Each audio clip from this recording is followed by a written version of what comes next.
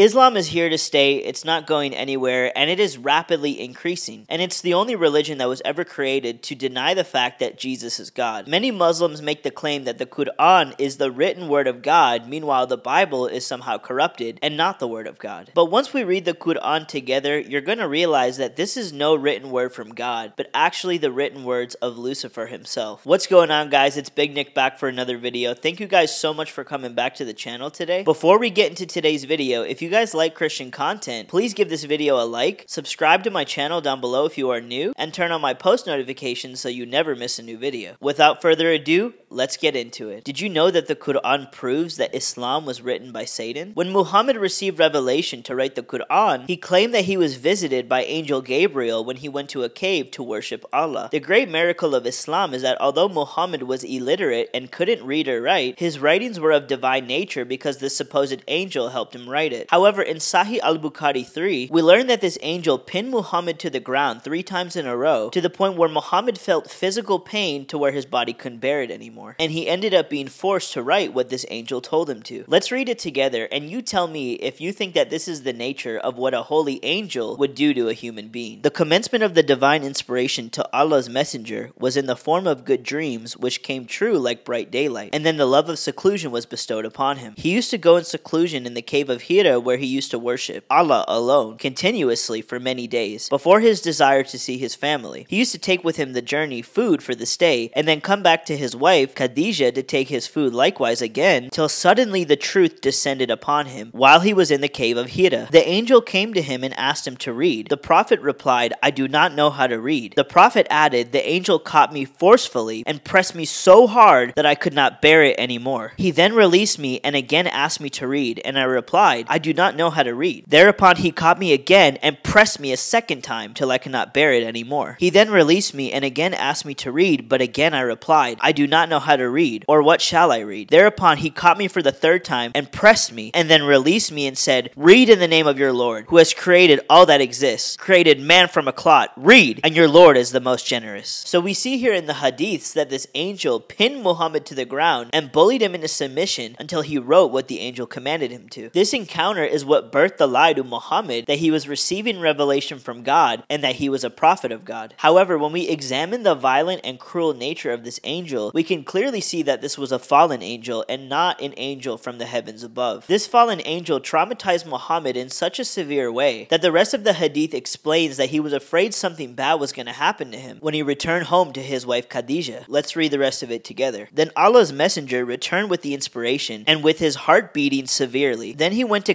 and said, Cover me, cover me. They covered him till his fear was over, and after that he told her everything that had happened and said, I fear that something may happen to me. Khadijah replied, Never, but Allah, Allah will never disgrace you. You keep good relations with your kith and kin, help the poor and the destitute, serve your guests generously, and assist the deserving calamity afflicted ones. This violent demonic encounter that Muhammad had, which he thought was the angel Gabriel, is what sparked the idea that Islam is the true revelation from God. However, the angel Gabriel recorded in the Bible is not an angel that used violent force, but rather an angel that spoke positive and comforting words to the Virgin Mary, letting her know that she is favored by God and telling her to not be afraid. When Mary received the revelation from the angel Gabriel in Luke 126 to 35, we notice a total opposite demeanor. In the sixth month, the angel Gabriel was sent from God to a city of Galilee named Nazareth, to a virgin betrothed to a man whose name was Joseph, of the house of David, and the virgin's name was Mary. And he came to her and said, Greetings, O favored one, the Lord is with you. But she was greatly troubled at the saying, and tried to discern what sort of greeting this might be. The angel said to her, Do not be afraid, Mary, for you have found favor with God. And behold, you will conceive in your womb and bear a son, and you shall call his name Jesus. He will be great, and he will be called the Son of the Most High. And the Lord God will give him the throne of his father David, and he will reign over the house of Jacob forever, and of his kingdom there will be no end. And Mary said to the angel, How will this be, since I am a virgin? And the angel answered her, The Holy Spirit will come upon you, and the power of the Most High will overshadow you. Therefore, the child to be born will be called Holy, the Son of God. Well, would you look at that?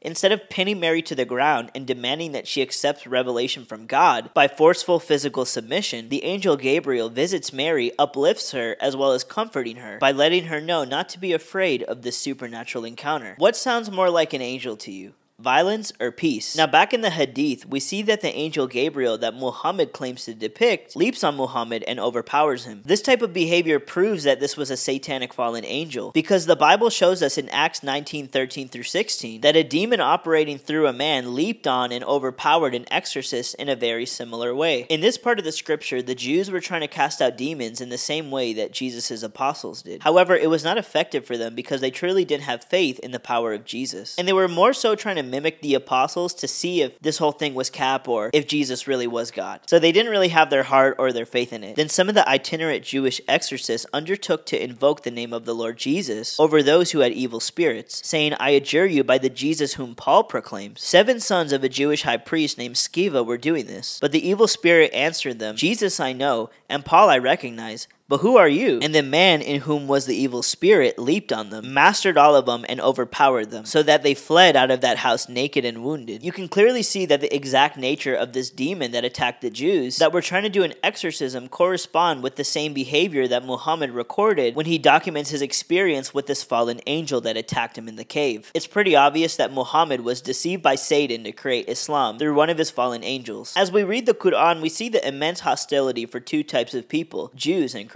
As you know, Jews and Christians have a significant positive role to play in the eyes of God. However, with the information that we now know about the Quran being inspired by a fallen angel, this verse in Surat Al-Bayinah 98.6 that says Jews and Christians are the worst of all creatures starts to make a lot more sense. When we read the Quran, we get to read it from the lens of Satan and how he views the people that are significant to God. Although we hear the common fallacy that Muslims believe in Jesus too, the Jesus that they believe in is a lie and it's not what the Bible Bible teaches. The Quran not only denies the crucifixion of Christ, but even insinuates that believing Jesus is God is the only unforgivable sin, which is known as shirk. Think about how satanic that is. Muslims are literally gripped with fear, even pondering the idea that Jesus may be God, because if they do come to that realization, that will mean that Allah will send them to hell for eternity with no forgiveness for them. This is further proof that the Quran was written by the devil himself, who is a master of fear and deception. Regardless of the propaganda, Islam is not a friend of Christianity, but rather a direct satanic opposition to the truth of God's word that can only be found in the Holy Bible. Jesus Christ is the only way to be connected to the true and living God. Because faith in his death and resurrection is the only thing that atones us for the sins that used to separate us from God. Nobody can receive salvation and forgiveness from God apart from Jesus Christ. The whole point of Jesus coming down was to build the very bridge that was broken previously between God and man due to sin. To deny the very act that God made in order to have a relationship with you again and think that you can get to him some different way is the sad deception that many false religions, including Islam, are under. Jesus Christ loves you and he's inviting you into a relationship with the Father. And the enemy will do whatever he can to deny this fact, including creating a whole counter religion by pinning down an illiterate man in a cave 600 years after the Bible was finished. Thank you guys so much for watching today's video. If you made it all the way to the end, I want you to comment down below, Islam is a lie. If you guys want to financially sow into this ministry, you can do so by checking the offering link in the description, or you can check out the merch merch, which is also linked in the description. I'll see you guys very soon for another video. I love you guys so much. May God bless all of you in the mighty name of Jesus Christ. Take care and peace out. Ain't a game, Jesus who I claim. Yeah, he reigns. Cross up on my chain. Brand new lane, heaven my domain. The world I gain, but it ain't do a thing. Ain't a game, Jesus who I claim. Yeah, he reigns up on my chain.